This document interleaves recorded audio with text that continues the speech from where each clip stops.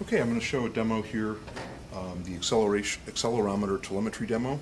What we have here is we have one spot that, as it's moved around, is going to transmit its, the forces it feels through its accelerometer, XYZ forces, transmit those over the radio uh, to a base station, which is connected to a host computer, and then on that host computer, there's a, a desktop program running to display those forces and let us see them.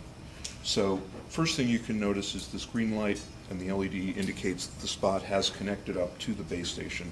So we're going to go and ask the whole thing to reconnect. What you'll see is uh, a red light there when the spot is disconnected, doesn't know where the base station is. It will then broadcast out a packet saying, hey, anybody out there? You'll see a green light go on next to it. And then when it gets a reply back from the base station saying, yeah, here I am, then the light will go back to be green. So we'll reconnect and do it, and we'll do it one more time. If it didn't find a, a base station then, it would be rebroadcasting every 10 seconds or so until it did find one.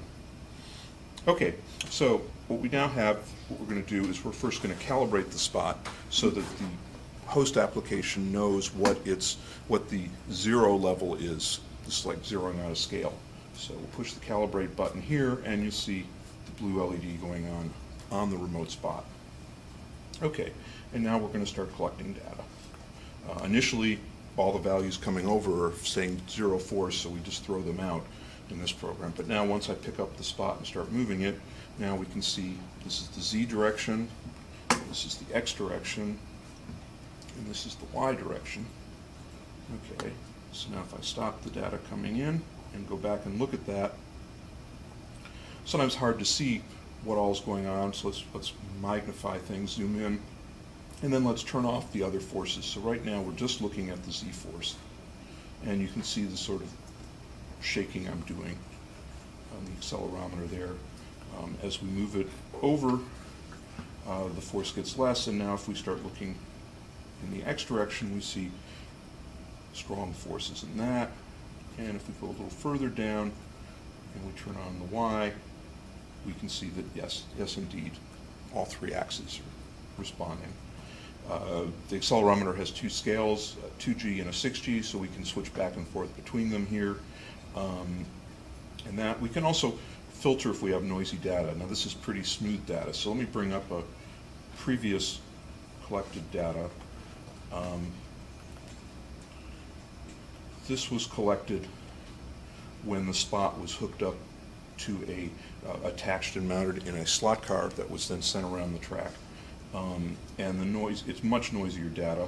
Let's just look at the data, the yaw forces as the car turns from side to side. And what we're going to do here is let's clean them up. We'll apply a filter to it, a smoothing filter, um, and we'll make that filter a little bit stronger for going from average of five samples to average of nine samples. And let's zoom in a little more. And now what you can see, sort of some small forces on, on the car as it was moving down the track.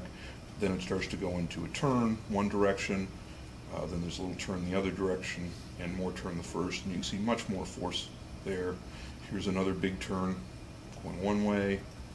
Uh, other force there as you move down. Um, and if we looked at some of the other forces that were going on in the car, like here's just the, the Z forces up and down, just as it moves down the track. Um, we can look at the uh, acceleration force um, as it moves down and see that too. Okay, so that's the accelerometer telemetry demo.